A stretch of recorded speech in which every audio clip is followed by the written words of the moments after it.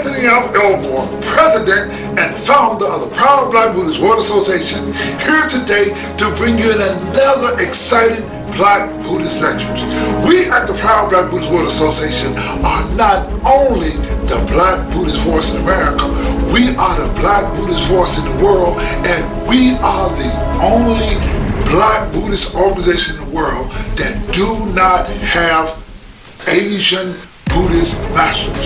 When we learned that the Asians educated all black history, culture, and language from the Buddhist teachings, we educated them out as our teachers. Now, today we're going to bring you exciting Buddhist lecture.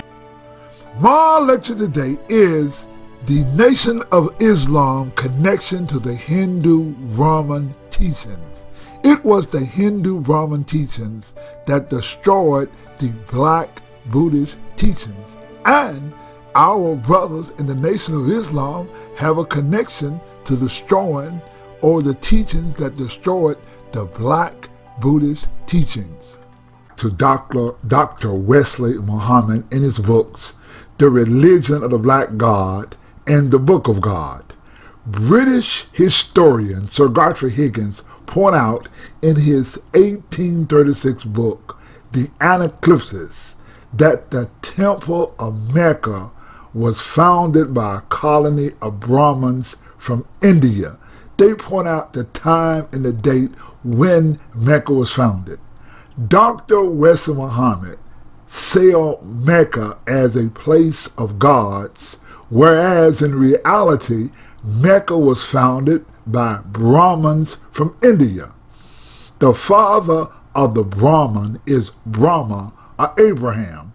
This is what you must understand about Dr. Wesley Muhammad and the Nation of Islam. You see, the scholar scientist, historian, and author of languages, Sir Godfrey Higgins, teachings is based on archaeology, anthropology, genetic science, literary science, and linguistic science.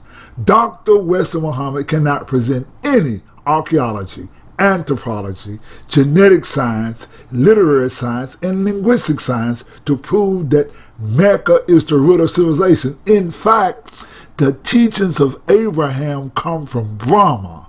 There is no archaeological, anthropological, genetic science, literary science, or linguistic science to even prove the existence of Abraham.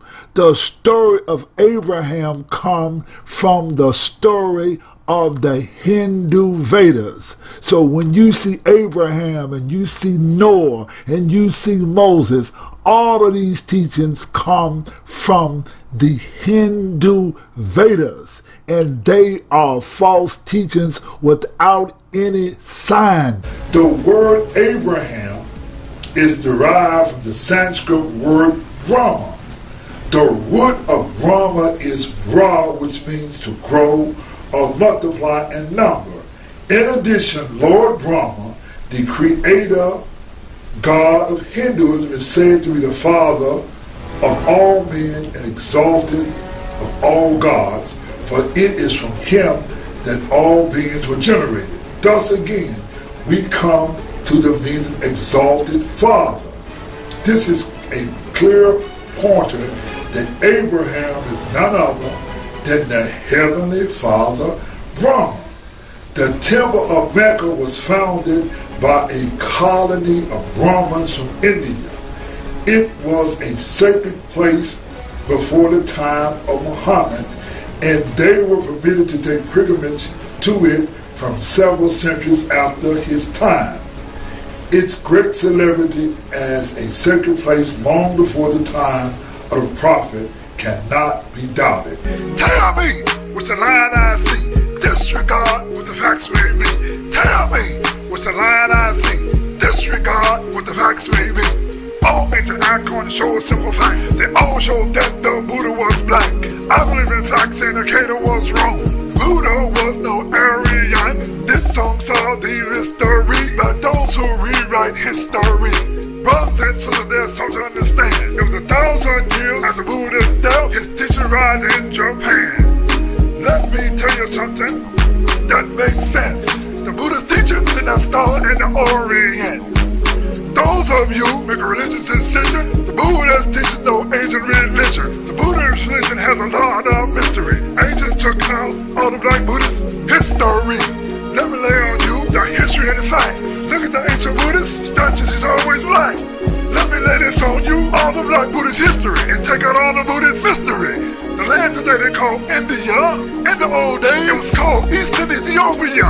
The first people in the land were called Dravidian. The same people today we call Nubian.